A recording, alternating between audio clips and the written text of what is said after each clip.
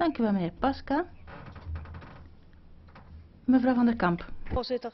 Voorzitter, het commissievoorstel voor technische controle van motorvoertuigen is het zoveelste voorbeeld van volstrekt doorgeschoten regeldrang en bemoeizucht met zaken waar de EU zich helemaal niet mee zou moeten bezighouden. In Nederland hebben we een prima systeem voor de periodieke technische controle. We hebben het gewoon goed geregeld. Desondanks wil de Europese Commissie weer alles regelen. Pure betutteling. En om deze bemoeienis te legitimeren worden zelfs drogredeneringen en niet onderbouwde argumenten opgevoerd. Want een noodzaak voor EU-wetgeving ontbreekt hier. Kennelijk zijn er veel te veel EU-ambtenaren die allemaal beziggehouden moeten worden. De EU moet de zeggenschap over technische controle volledig aan de lidstaten laten.